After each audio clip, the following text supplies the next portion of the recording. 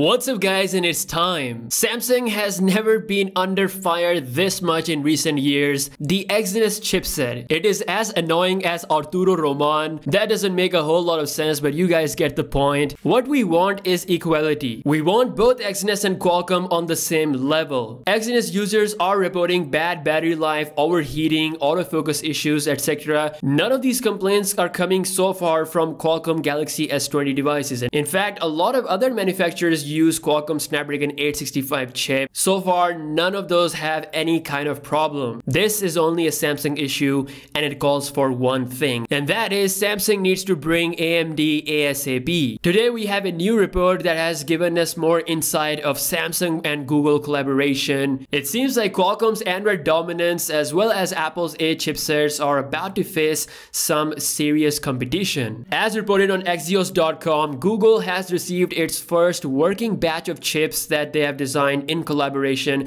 with Samsung. Yes, the same Google chip that we discussed earlier in the previous video that is going to be a 5nm chip with latest ARM cores as well as the latest ARM GPU, the Mali P20. And since it's a Google chip, it's going to be using Google's neural core as well as Google's own ISP. Google is more involved in this than ever before because this is for their Pixel and Chromebook devices coming next year. Moreover, Samsung is also said to be helping Apple Apple with their 5 nanometer chips and most importantly, their own Exynos chips. You see, Samsung never uses the stuff that they make for other manufacturers. They always have something special planned for their own flagship Galaxy phones. The 5nm Exynos chip with AMD could still happen for the Galaxy S21. It makes all the sense. You see, this chip is for Google, which means it's probably not gonna be on the Galaxy S21. It is made for Pixel 6, which means that next year Pixel devices will not only be faster, but possibly have more than four years of software support. Thanks to Samsung, Google has a lot of control